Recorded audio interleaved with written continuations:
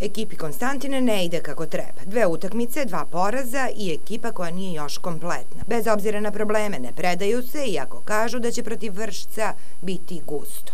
Mi moramo da promenimo pristup koji smo imali u prošle utakmice sa metalcem, znači totalno bez energije, bezvoljno, bez komunikacije, bez ikakve želje za nekom pobedom.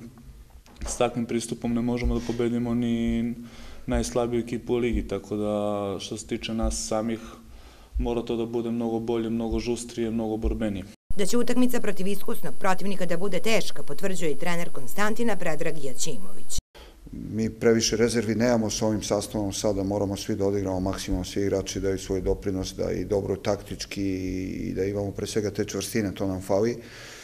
Ta, tako da, ako tako budemo ušli, možemo se nadamo do, a, povodnom ishodu. Posle dva kola Konstantin se nalazi na poslednjem 14. mestu sa dva boda, dok je Vršac deveti sa bodom više od Niškog tima.